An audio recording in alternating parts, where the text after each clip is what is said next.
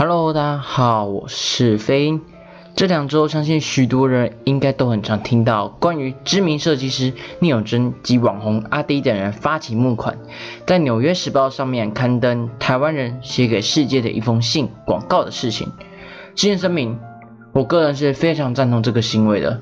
毕竟，如果你自己不发声，又怎能够期待他人看见你呢？所以在看到这个新闻的时候，我个人是非常感动的。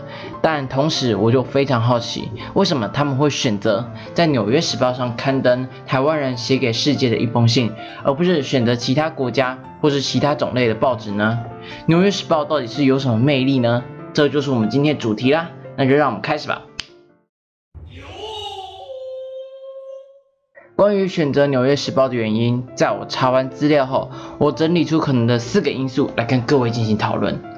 一、国家，美国是目前世界最大的经济体，同时也是最大的民主国家，许多国家的新闻都会参考和报道美国的新闻，像是 CNN，这就是非常常见的关于美国的报道。因此，选择在美国的报纸上面刊登台湾人写给世界的一封信，是能够最有效让更多人。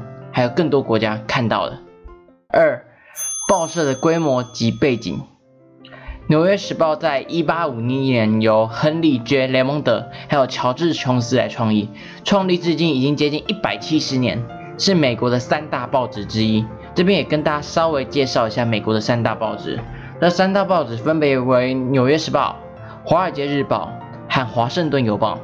综合性的《纽约时报》在政治上是属于自由派媒体的第一大报，那商业性报道为主的《华尔街日报》和偏向于报道美国国内政治的《华盛顿邮报》则是偏保守派，因此选择《纽约时报》是最符合台湾人写给世界的一封信这个主题的。三、政治背景。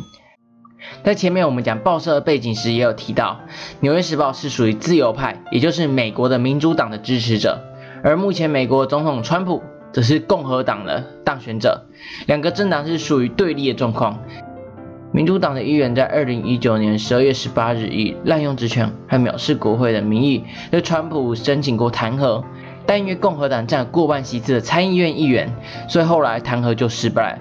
但也因为这个政治立场，选择《纽约时报》比较不会因为总统的影响而不愿意让聂永真等人刊登这封信。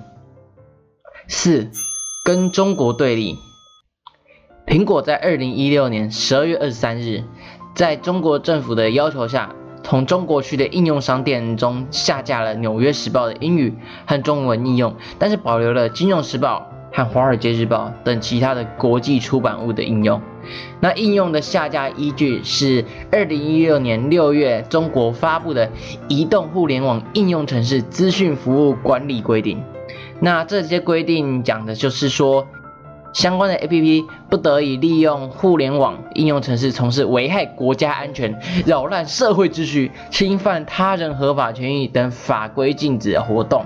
那互联网监管机构还在官方网站说，应用程式也不能发布被禁的资讯。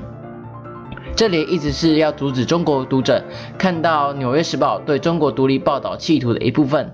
这个报道，《纽约时报》在其他国家都有上报，只是在中国这个媒体被进行严格控制，并且时常对信息进行审查的国家来讲，这个讯息就是不被允许出现的。从这边就可以看出，《纽约时报》是不被中国所待见的一个报纸。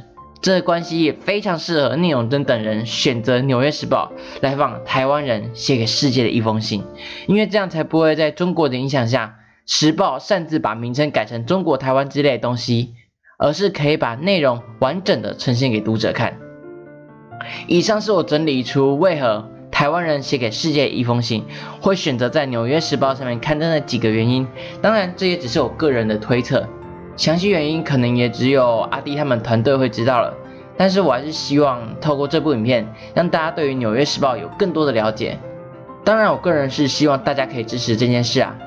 当然，就算不支持的也没有关系，还是希望你可以发表一些具体的建议，而不是单纯的砸嘴炮去拒绝这件事情。只有你提出了具体的建议，社会才会变得更美好。Good。